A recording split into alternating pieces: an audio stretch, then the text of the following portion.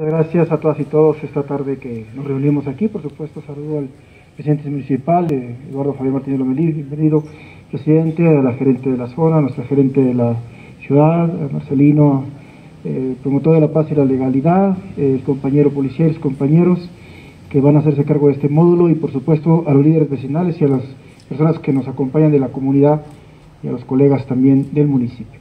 Pues esta es una muy buena noticia que podamos inaugurar este módulo de paz esta tarde, justo porque hoy el modelo de seguridad que por muchos años tuvimos en, en la ciudad y en el país, pues está rebasado.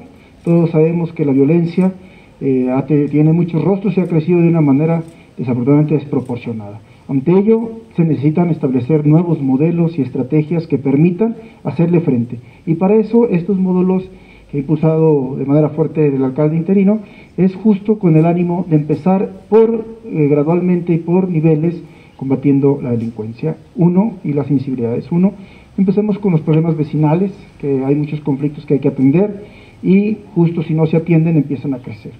Dos, hay que reeducarnos todos los ciudadanos y también el modelo de justicia cívica que también se ha impulsado en esta administración, está trabajándose con otras eh, estrategias. Aquí se van a poder presentar quejas eh, para cuando hay violaciones al reglamento de justicia cívica y se permita hacer las investigaciones correspondientes, reeducarnos como vecinos, eh, por supuesto priorizando la mediación, la mediación comunitaria, los métodos alternos, la justicia restaurativa, que permita solucionar conflictos en la comunidad. Tres, hay que empezar a conformar un mapa criminógeno, toda la problemática desde los conflictos menores hasta los delitos, hay que concentrar toda esa información para atenderla y también desde, desde lo local, desde la colonia, empezar a buscar cómo se tenga que resolver. Y cuatro, lo más importante, hay que hacer las actividades, estrategias de prevención.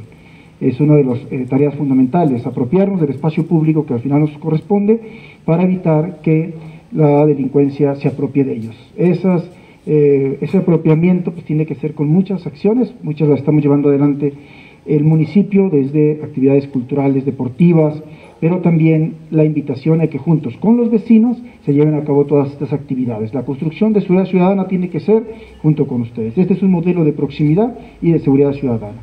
Y solamente así, lo tenemos comprobado en, muchas partes ya de la ciudad, empiezan a disminuir los índices delictivos y también las infracciones al reglamento de policía a lo que era el reglamento de policía de buen gobierno, hoy modelo de justicia cívica. Entonces, juntos seguramente vamos a tener resultados. Bienvenidas todas y todas y la invitación eh, a todos los vecinos a involucrarse, a involucrarse, a trabajar de la mano con nuestros representantes aquí en el módulo y también con el comandante y con todo el mundo a construir estrategias de prevención y de seguridad. Enhorabuena a todas y todos. Muchas gracias.